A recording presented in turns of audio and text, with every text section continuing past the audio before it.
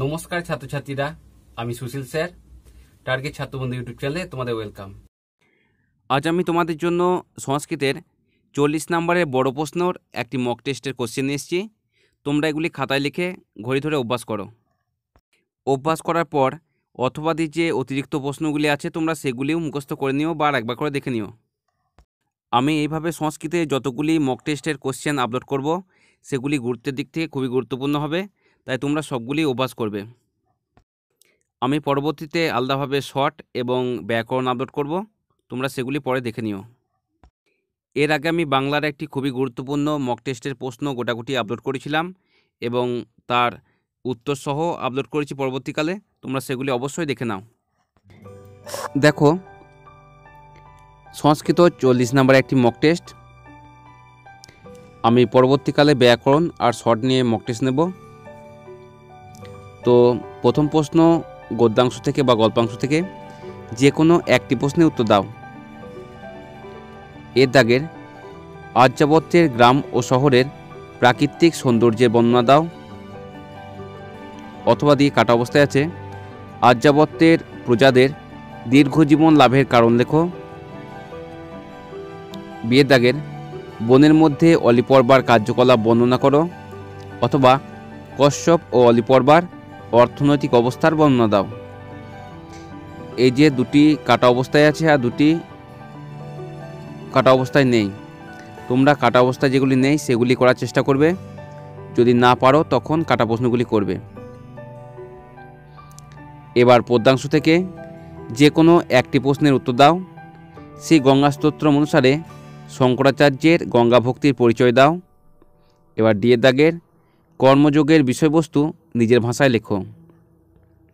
অথবা দিয়ে কাটা অবস্থায় একটি প্রশ্ন আছে, যৎ যৎ আচরতি। এটি তাৎপর্য বিশ্লেষণ করো। এবার নাট্যাংশ থেকে যে কোনো একটি প্রশ্নের উত্তর দাও। এর দাগের, রাজা ইন্দ্রবর্মা অথবা কৌমুদীর চরিত্র বিশ্লেষণ করো। এফের দাগের, বাসন্তিক শব্দম নামকরণের সার্থকতা বিচার করো।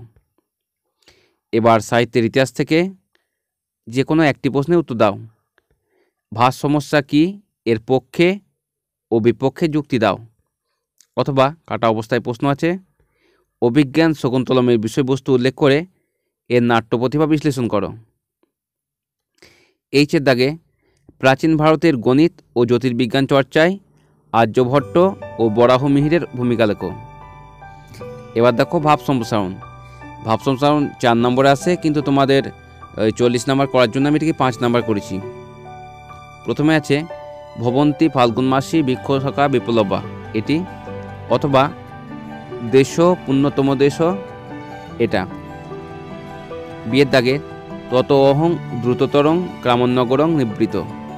এই দুটির মধ্যে যে কোনো একটি করবে। এবার ভাষাবিজ্ঞান থেকে ভারতীয় আর্য ভাষার বিভিন্ন স্তরগুলির বিবরণ দাও।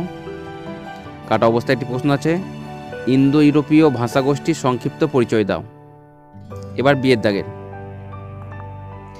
ইন্দো ইউরোপীয় ভাষাগোষ্ঠীতে সংস্কৃতের স্থান নির্ণয় করো।